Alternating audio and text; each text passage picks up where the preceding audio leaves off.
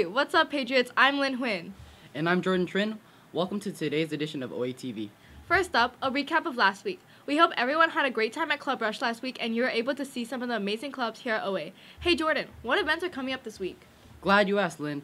Well, this Friday is Senior Luau from 4 to 7 p.m. in the West Quad. Seniors, get ready for some amazing food and even Hawaiian dancers. Don't be left out other classes. Class bonding events will be after school on October 4th, hosted by your very own class committees.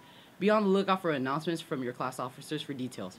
Speaking of exciting events, the annual Major Works concert will be held on September 27th and 28th at 7 p.m. at Cook Auditorium.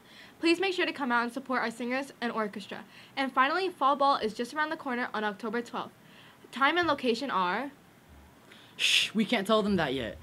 More information will be on, on the way. Clubs and class committees. There will be an ICC secretaries meeting today during lunch in room 408. So all club secretaries and class officers, please don't forget to attend. Moving on to sports. Girls volleyball play John Glenn on Monday and play and plays Pioneer on Friday. Cross country has their first league meet today and girls tennis will play Western tomorrow. Good luck to you all. Lastly, don't forget that the core value of September is fun. Those who have demonstrated a dangerous degree of dynamism you might be nominated for Patriot recognition on the 25th. Well, that's all for today, Patriots. Signing off, I'm Jordan. And I'm Lynn. Tune in for Friday for another edition of OATV.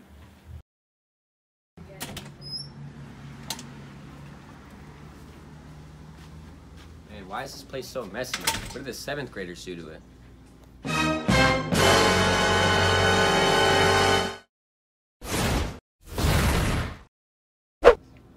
Oh, can't clean that. Yo, where'd you get that? I got it from the student store. Really?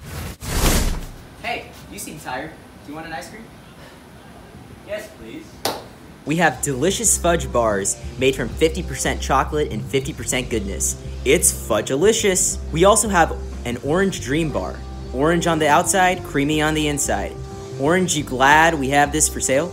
It's gonna feel like Sunday with a strawberry sundae crunch. It's great for all your strawberry lovers. It's very tasty. You will surely be able to crunch down on the chocolate sundae crunch. It's the best of both worlds. Crunchy goodness mixed with sweet ice cream. Oh, I want that one. There we go.